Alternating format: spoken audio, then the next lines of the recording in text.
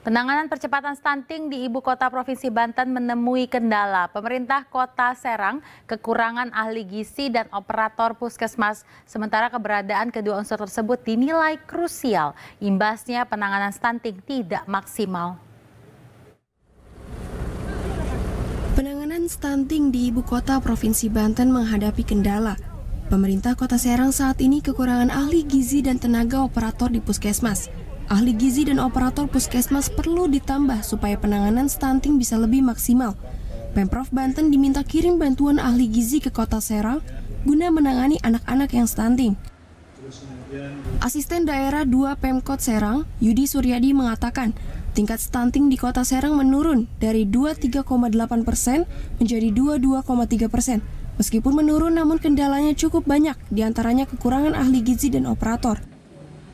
Semua organisasi perangkat daerah yang terlibat dalam penanganan stunting sudah dipanggil untuk bersama melakukan evaluasi agar percepatan penanganan stunting tahun 2024 bisa lebih maksimal. Kita pasti punya kendala, yaitu salah satunya adalah tenaga eh, tenaga operator di, di bawah puskesmas.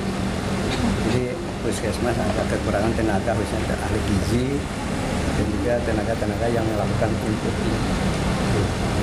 berapa? Kalau sekarang berapa sih bang? Pak apanya? Pak tenaga itu.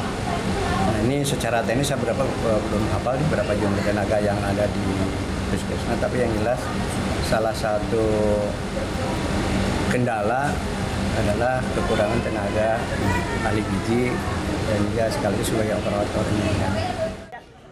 Masalah kekurangan ahli gizi dan operator di puskesmas sudah dilaporkan ke Badan Kepegawaian dan Pengembangan Sumber Daya Manusia BPKSDM Kota Serang dan Dinas Kesehatan Provinsi Banten agar bisa menutupi kekurangan tenaga dalam penanganan stunting. Suhendi, CPM TV, Kota Serang, Banten.